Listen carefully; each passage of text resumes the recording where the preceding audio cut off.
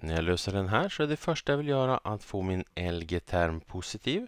Så därför adderar jag LGX på båda sidor. Sådär, och då får jag 1 är lika med 0,5 adderat med LGX. Sedan tar jag och subtraherar 0,5 på båda sidor. Då får jag 1 minus 0,5 som är 0,5 där. är lika med LGX.